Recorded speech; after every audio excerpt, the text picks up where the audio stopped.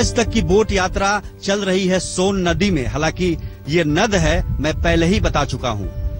इंद्रपुरी बाराज के बाद अब हम, आप पहुँचे हैं डेहरी ऑन सोन, जहाँ हम जनता से आने वाले विधानसभा चुनाव में उनके मुद्दों पर बातचीत करेंगे।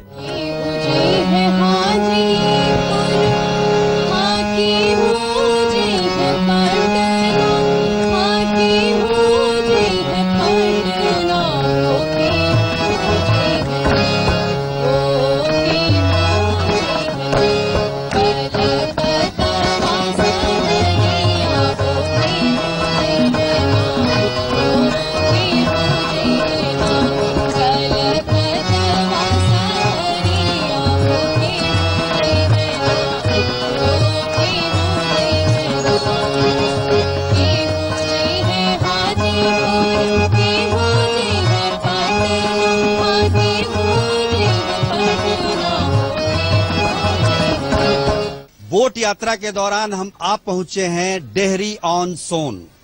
डेहरी ऑन सोन का मतलब हुआ, डेहरी का मतलब हुआ भोजपुरी में घर और ऑन सोन, यानी सोन नदी के किनारे। तो सोन नदी के किनारे ये बसा डेहरी ऑन सोन। एक शहर है, एक पूरा विधानसभा है, यहाँ की जनता है यहाँ पर। आप देख सकते हैं कितनी भारी संख्या में जनता यहाँ पर उपस्थित है। दस वर्षों में क्या विकास हुआ चौदह महीने में केंद्र सरकार की नरेंद्र मोदी सरकार ने क्या किया? इन तमाम मुद्दों पर हम इनसे बातचीत करेंगे। ये बताइए कि इस बार के चुनाव में क्या मुद्दे होंगे यहाँ डेहरी ऑन सोन में सबसे बड़ा जो अहम मुद्दा यहाँ का है, वो हमारा वो डेहरी डालमिया जो रोहतास उद्योग समूह जिसे कहा जाता है चूँकि ये कई दशकों से वीरान पड़ा हुआ है सबसे अहम समस्या है यहाँ पे। कितने परिवार जो है, आज वो बेरोजगार बैठे हुए हैं, भूखमरी के कगार पे हैं, वो उनको सही टाइम पे दवाइयाँ नहीं मिल पा रही हैं। यहाँ पर फैक्ट्री बंद होने के कारण बहुत सारे लोग बेरोजगार हो गए हैं। बहुत साल से करीब उन्नीस सौ चौरासी से में फैक्ट्री बंद हुई है। उसके बाद यहाँ पर कोई भी, एक भी फैक्ट्री नहीं लगा है। और कोई विकास का काम नहीं हुआ है। यहाँ बिजली की बहुत बहुत बड़ी समस्या है। शिक्षा की भी समस्या है सर। बिजली कितनी देर आती है? बहुत कम दो घंटे मात्र। डेयरी में मात्र दो घंटे बिजली आती है। पहले तो ये बीच में तो दावा किया जा रहा था कि पंद्रह से बीस नहीं नहीं ऐसा कुछ नहीं है ऐसा कुछ नहीं बिजली बहुत कम यहाँ आती है जिससे बच्चे लोग को पढ़ने में दिक्कतें होती हैं। आज के आधुनिक युग में बिजली हमारे बहुत ही आधार के काम करती है और यहाँ वही आधार यहाँ गायब है। बिजली की स्थिति थोड़ी बहुत ठीक हुई थी, लेकिन पिछले एक दो महीने से स्थिति काफ़ी खराब हुई है और इसके चलते लोगों को काफ़ी दिक्कतें आ रही है। ये सोचने वाली बात है सरकार के लिए कि जो जो चुनाव नज़दीक आते जा रहा है, बिजली की स्थिति खराब होते जा रही है।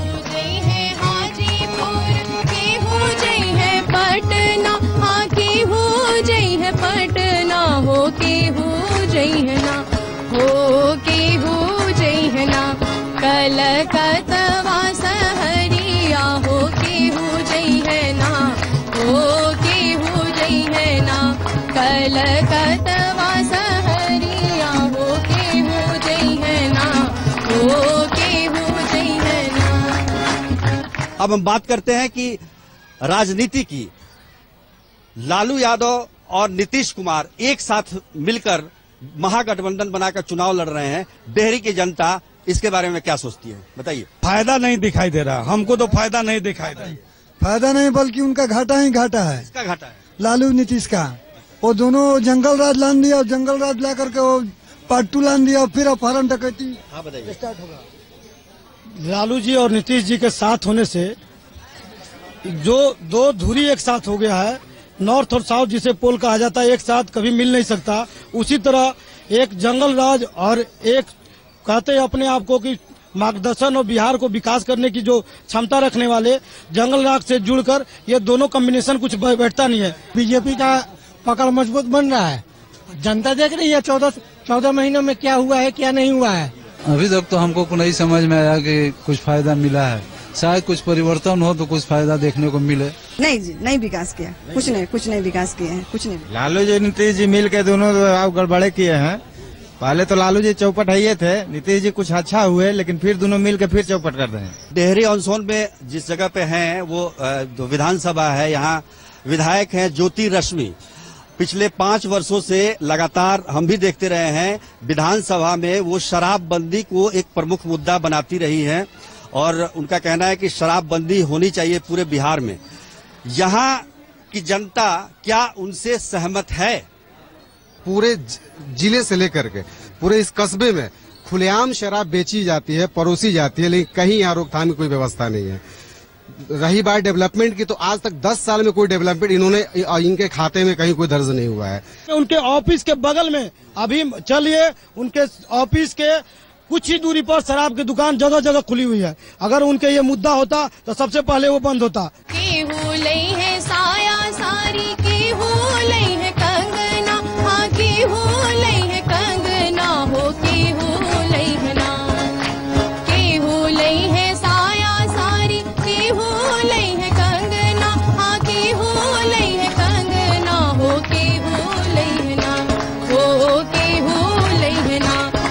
माथे के केहू लई है ना केहू लई है ना। हमरी माथे के केहू लई है ना केहू लई है ना। पिछले दस वर्षों से नीतीश कुमार बिहार के मुख्यमंत्री हैं और उन्हें विकास पुरुष भी कहा जाता है। काफ़ी काम करने का दावा भी किया गया है। जनता क्या जान बोलती है इसके बारे में पूछते हैं कि नीतीश कुमार कैसे मुख्यमंत्री हैं?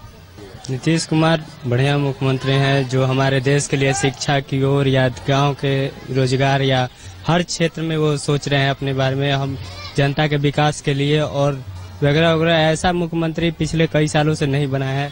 कि यहाँ जितने भी आंदोलन चाहे शिक्षा के क्षेत्र में टीचर लोग गया हो चाहे आशा कार्यकर्ता गई हो चाहे ए एन एम गई हो उनको पानी के फुहारा दे करके और देह पे लाठी बरसाने का काम किया है।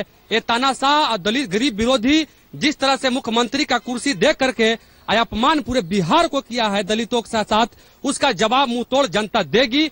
अच्छे मुख्यमंत्री नहीं है जो कि युवाओं के साथ बहुत ही खराब काम कर रहे हैं। तरह तरह के जितने भी वैकेंसीज है सब कॉन्ट्रैक्ट बेसिस पर लाकर उनके भविष्य के साथ काफ़ी खिलवाड़ किया जा रहा है। नीतीश कुमार जी एक ड्रीम मुख्यमंत्री हैं। और वो डिटेक्टरशिप चलाना चाहते हैं। और ड्रीम वाले सिर्फ़ ख्वाब देख सकते हैं और पटल में कुछ नहीं कर सकते हैं। मुख्यमंत्री का कोई उम्मीदवार बिहार में मान लीजिए नीतीश कुमार अच्छे नहीं है तो और कौन हो सकता है? बताइए आप। कौन बताएगा? मोदी। सुशील कुमार मोदी। मोदी जी होंगे सुशील मोदी जी। शाहनवाज हुसैन सबसे सबसे बेस्ट होंगे। मोदी जी। सबसे अच्छे एनडीए की तरफ़ से मुख्यमंत्री में सबसे भारी उम्मीदवार रामविलास पासवान होंगे। सुशील कुमार मोदी। आप बताइए सुशील कुमार मोदी। एनडीए की तरफ़ से एक नाम उभर के आ रहा है सुशील कुमार मोदी का नाम जो बेहतर मुख्यमंत्री हो सकते हैं। तो ये जनता की यहाँ राय है। हम ये जानना चाहेंगे जनता से ये भी कि केंद्र में जो नरेंद्र मोदी की सरकार है जो पिछले 14 15 महीनों से काम कर रही है उससे जनता कितनी संतुष्ट है? क्योंकि जब वो सत्ता में आए थे तो उन्होंने काफ़ी वायदे किए थे। बिहार में उन्होंने क्या किया डेहरी में क्या किया ये तमाम बातें हम यहाँ की जनता से पूछते हैं। इतना दिन से 60 साल से जो है कि यूपीए गवर्नमेंट था तो उस समय इतना विकास नहीं हो पाया तो इतना जल्दी जो है कि कम से कम समय उनको दिया जाए उसके बाद जो है कि धीरे धीरे काम होगा। इतना दिन से जो जकड़ा हुआ है वो धीरे धीरे जो है लाइन पे आएगा। नरेंद्र मोदी तो अच्छा काम किए हैं बाकी हम नीतीश के बारे में बोल रहे हैं कि नीतीश कुमार जो 10 साल पहले जो लालू जी का सरकार था उसमें हॉस्पिटल और रोड जर्जर हो गया था। और नीतीश में आया तो उसमें अच्छा रोड हुआ हॉस्पिटल अच्छा हो गया। उद्योग यहाँ पर जो है पच्चीस साल से लोग यहाँ पर गठबंधन की सरकार चल रही है उससे हमारा समस्या जो है बनी हुई बेरोजगारी की कि ये सबसे और अपराधीकरण का बढ़ावा हो गया है। हमारे प्रधानमंत्री जन धन योजना जन धन योजना जो खुलवाया बैंक में अकाउंट खुलवाया यही उनका सबसे बड़ा काम हुआ है अभी तक चौदह पैसा डलवाए उसमें पैसा कुछ नहीं डलवाए हैं सर। इसमें कोई एक पैसा नहीं आ रहा है केंद्र सरकार से भारत सरकार से। इसमें बस गरीबों का पैसा जा रहा है। आ नहीं रहा है जा रहा है। लग रहा है पैसा निकालने के लिए जाएगा तो भी पैसा कटेगा डालने के लिए जाएगा तो भी पैसा कटेगा। यही सबसे बड़ा काम किए हैं हमारे प्रधानमंत्री। डेहरी ऑन सोन शाहबाद क्षेत्र में आता है और शाहबाद क्षेत्र धान का कटोरा माना जाता है लेकिन सिंचाई के लिए पानी की यहाँ कमी है। किसान इसकी भी शिकायत कर रहे हैं। सरकार को इस पर भी ध्यान देना चाहिए। बोट यात्रा में डेहरी से बस इतना ही। देश और दुनिया की बाकी खबरों के लिए आप देखते रहिए आज तक।